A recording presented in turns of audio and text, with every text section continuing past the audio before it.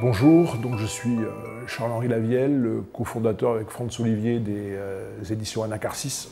Je viens vous parler aujourd'hui de l'ouvrage de Claudio Morandini, Le chien, la neige, un pied, traduit par Laura Brignon aux éditions Anacarsis. Euh, l'histoire, c'est celle d'Adelmo Farandola. Adelmo Farandola est un ermite qui vit depuis des années dans une vallée minérale extrêmement reculée au fond de la vallée d'Aus. Et ce personnage-là, euh, on le croise au moment où on perçoit qu'il est en train de chanceler euh, et de perdre euh, vraisemblablement la mémoire. Et à ce moment-là, il croise un chien, un chien dont on peut tout se dire, on pourra tout penser, qu'il existe ou qu'il n'existe pas, en tous les cas, qui va, par les dialogues qu'il va mettre en place avec lui pendant tout, tout l'hiver, après l'avoir tenté de le repousser plusieurs fois, finalement s'installer dans sa folie, et ce chien qui va à la fois être un miroir et, en même temps parfois une vigie de cet hiver passé sous la neige. Euh, la force de ce, de ce texte-là, elle réside, euh, à mon sens, euh, dans, ce, dans ce lien à la folie. Et puis, il vaut aussi par la très grande présence de la nature.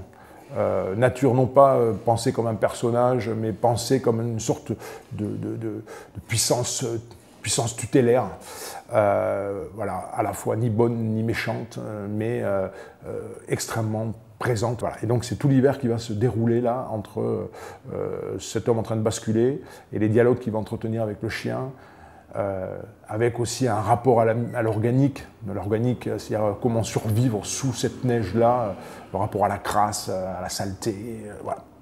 Et puis, dans un deuxième temps, après que le printemps soit, advenu, le printemps, il apparaît, il apparaît avec toute sa cruauté, avec toute euh, sa dureté, c'est-à-dire euh, les fontes qui imposent les avalanches, qui imposent des ruissellements, qui imposent des craquements, des, des, des, presque terreurs nocturnes de ce, de, cette, de ce chalet enfoui comme ça euh, sous la neige. Et là va apparaître à la première fois qu'il sorte un pied. Et donc tout l'enjeu est de savoir, dans la discussion avec le chien, euh, qu'est-ce que fait ce pied-là? Est-ce que ce pied est le pied du garde-chasse euh, Qui euh, est à l'origine de la mort de cet homme Voilà, c'est tout un, presque, presque un roman noir à ce moment-là qui, commence à s'instaurer. Je ne vais pas raconter la fin, mais, mais voilà, tout ce rapport à l'organique, là, il a aussi une importance décisive dans ce qui va se passer. Les premiers signes avant-coureurs de l'automne poussent Adelmo Farandola à descendre au village pour faire des provisions. Le matin, en sortant du chalet, il voit autour de la bâtisse l'herbe des prés saisie dans un givre qui peine à fondre.